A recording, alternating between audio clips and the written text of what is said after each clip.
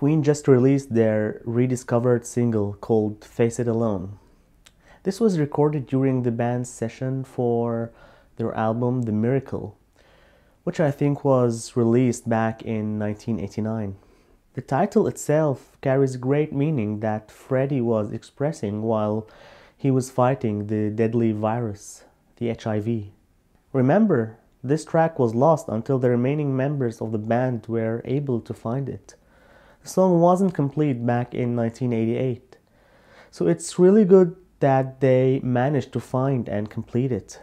Since my channel is about music and spirituality, I thought it's a great timing to talk about this song since it carries truths from an authentic man like Freddie. There are a lot of Queen songs that carry great and valuable messages of wisdom. I'm gonna discuss these songs in later videos, now, let's check this new single.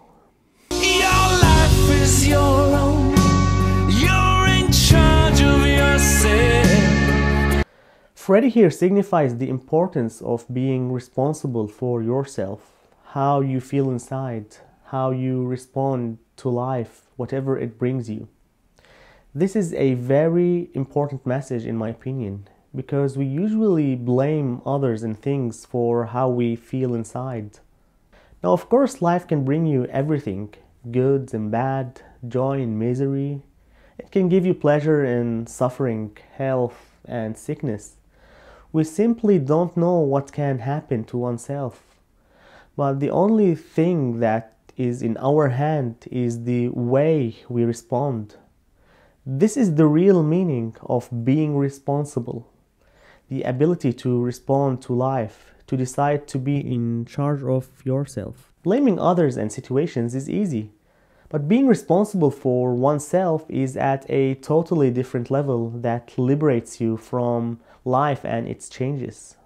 One can have a very mild illness but start whining and weeping, or one can decide to be strong and persistent like Freddie. The guy had AIDS, which was one of the deadliest diseases, especially back in the 80s. It was ugly in every way.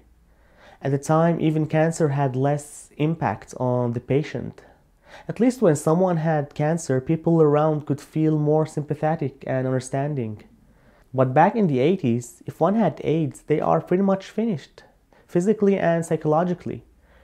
Even today, AIDS has such a stigma around it. Fortunately, people are becoming more understanding. So, yeah, just imagine the amount of responsibility you have to take on for yourself while you are infected with such a deadly virus that also comes with a stigma. Again, this is about responsibility, but I wanted to bring attention to the word master. It's very common to see this word in the spiritual realms we usually say spiritual master, or for example, in Zen Buddhism, they say Zen master. People might think of a master as a teacher who teaches disciples about many aspects of life. But in fact, the word master is more about mastering your inner world and not others. If you are the master of your inner reality, meaning that you no longer live unconsciously and react to every little thing in your life, but rather respond with total awareness and compassion, then you are a master. You don't need to have disciples. They will probably come on their own when they notice your grace and joy to ask about the secret behind them. So Freddie again brings up a word to contemplate upon. He also says home, which is a beautiful word. One can be homeless as far as shelter is concerned, but if one can master the inner home, then it's impossible to become homeless. Whatever happens outside is no longer relevant when you are aware of your inner kingdom. In the end, you have to face it all. Yeah, no matter what you think of what I just said, which is a fact, not a doctrine or belief system, but if you only take this conceptually and intellectually, and you refuse to be aware of the fact itself. Here, Freddie sends another great message that at the end of the day, you are alone.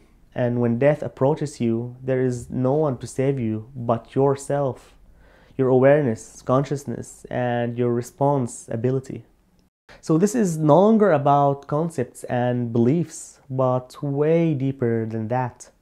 This is existential reality that requires a different level of awareness and devotion from your side, above any philosophies or system of thoughts you get from outside, which will leave you alone when the time comes. The lyrics overall have great value and poetic meaning, but for the sake of time, I wanted to shed light on these couple of lines because they are the peak of the song and they are pertinent to my channel. This band is so versatile, and as I mentioned before, there are many other Queen songs to talk about that have spiritual meaning to them. Perhaps very few people paid attention to such songs, but this is my work here. If you're into music, mindfulness, and spirituality, then stay tuned for more.